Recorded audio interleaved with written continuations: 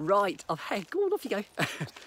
I've had lots of people say to me, can we see your um, outfit for your wedding? We want to see your outfit. No, not until the day.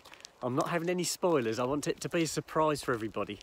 So what I will do is I'll take loads of pictures for you and I will, I will post them on the day that I'm at the wedding. So you do get to see them on the day, but there's not going to be any spoilers before that. So I've had so many people saying that. Um, I'm so looking forward to this, guys. So we've only got, what's today? Thursday, Friday, and it's Saturday. Yes, we're so close. I'm looking forward to this. And don't forget the Sunday I'm going out to um, to Col uh, Cambridge uh, to a museum. They've got a, I keep saying it's an air show. It is an airfield. I don't know if they're going to have an aircraft fly over, but it is an a ex-disused uh, airfield from the Second World War. And it used to be a fighter station. Let's get past these brambles. There you go.